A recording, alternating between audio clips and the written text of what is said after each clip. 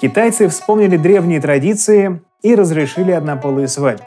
Не во всем Китае, конечно, пока только на капиталистическом Тайване, но начало положено.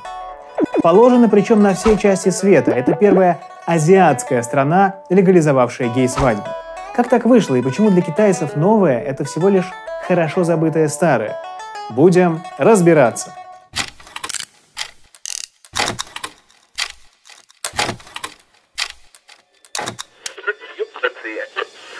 Ура, товарищи! Эта фраза ни для современного Тайваня, ни даже для большого коммунистического Китая больше не актуальна. Товарищами или туньджи в молодежной среде давно называют людей нетрадиционной сексуальной ориентации. Радостной датой для сотен тысяч тайваньских товарищей стало 17 мая. Именно тогда местный парламент принял закон о легализации гей-браков. Принял причем самый либеральный вариант. Таким семьям можно усыновлять детей – Правда, только если ребенок имеет отношение к одному из супругов. Что интересно, формальная воля народа была нарушена. Ведь как все было? В 17 году однополые браки разрешил Конституционный суд и постановил утвердить все за два года. Через год одна довольно консервативная группа предложила парламенту страны поставить вопрос на референдум и собрала 600 тысяч подписей. В итоге в ноябре 2018 тайваньцы отвечали на два вопроса. Первый. Согласны ли вы, что Гражданский кодекс должен защищать право однополых пар на брак? Второй. Согласны ли вы, что гендерно-нейтральное образование должно быть включено в программу на всех уровнях образования и включать курсы по эмоциям, сексу, геям и лесбиянкам? Ответ был однозначно. Нет. Так заявили примерно 65% избирателей. Власти, однако, сказали, что решение Конституционного суда вступит в силу в любом случае – для однополых отношений не стали использовать положение Гражданского кодекса, а просто приняли отдельный закон. Разрешение на браки вступило в силу 24 мая. На улицах и площадях Тайбэя прошли грандиозные празднества. Сотни пар одновременно зарегистрировали свои отношения. Впрочем, правозащитники считают, что борьба пока не окончена. Во-первых, ограничено право на усыновление. А во-вторых, жениться могут только тайваньцы, а не иностранцы – к тому же в стране в следующем году выборы, и если на них победят консерваторы, все завоевания могут пойти прахом.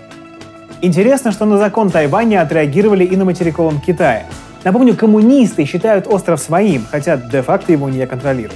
Газета «Жэньминь Джибао» рубр Компартии опубликовала в Твиттере поздравительный пост и разместила картинку с радужными фигурками и подписью «Любовь – это любовь». Министерство иностранных дел островного государства, правда, отреагировало очень уж резко.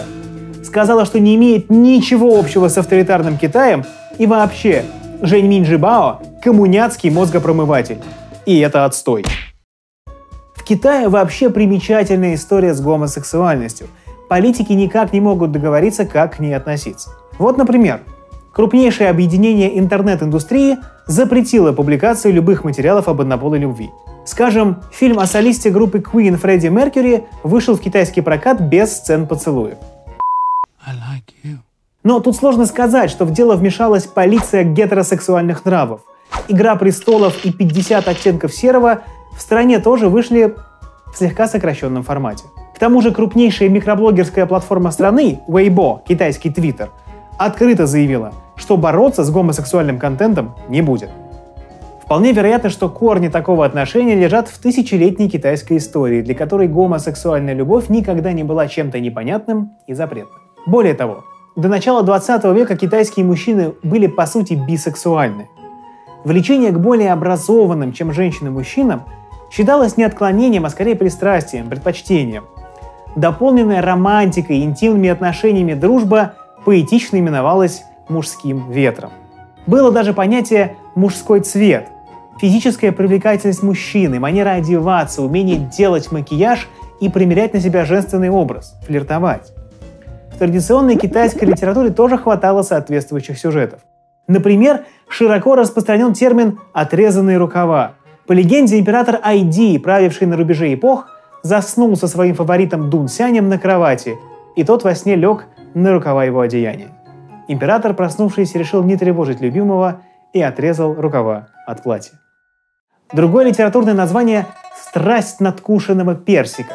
Предание гласит, что фаворит одного из правителей давал своему патрону в знак верности доесть особенно вкусные персики. Богатые женатые мужчины или неженатые ученые часто заводили себе любовников, обычно возрастом от 9 до 25 лет. В других случаях они покровительствовали мальчикам-проституткам. Китайские философы, будучи представителями прагматично мыслящей нации, писали, что юношам лучше торговать телом и быть фаворитами взрослых вельмож, нежели прозябать в нищете. Мальчиков могли именовать названный младший брат, зайчик, ну или просто мальчик-проститутка.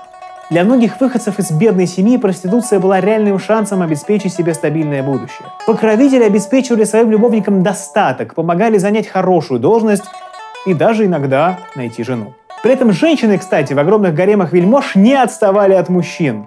Гомосексуальные связи среди наложниц тоже не были редкостью. Лесбиянок называли сестрицами золотой орхидеи или полировщицами бронзовых зеркал. В общем, для кого-то легализация гей-браков – это громкая поступ либерализмом по всему миру и разгул порока. Но для многих народов, в том числе китайцев, это лишь возврат к незабытым традициям древности.